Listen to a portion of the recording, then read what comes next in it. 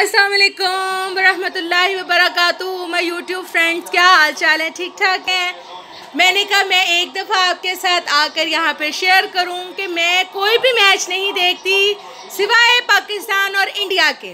और ये मैच मैं मिस नहीं करती।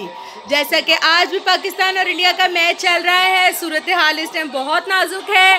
देखिए, क्या बनता है, क्या नहीं बनता देखिए, हमने तो अपने पाकिस्तान के लिए दुआ करनी है। जो टीम जितना मर्ज़ी अच्छा खेले, ना खेले, पाकिस्तानी है मुहब वतन है अपने वतन के साथ। अल्हम्दुलिल्लाह, मुसलमान है। अल्लाह करे हमारा पाकिस्तान जीत जाए। और मैं अपने पूरे घर में जिसे कहते हैं ना, शोर डाल के बैठी होती हूँ।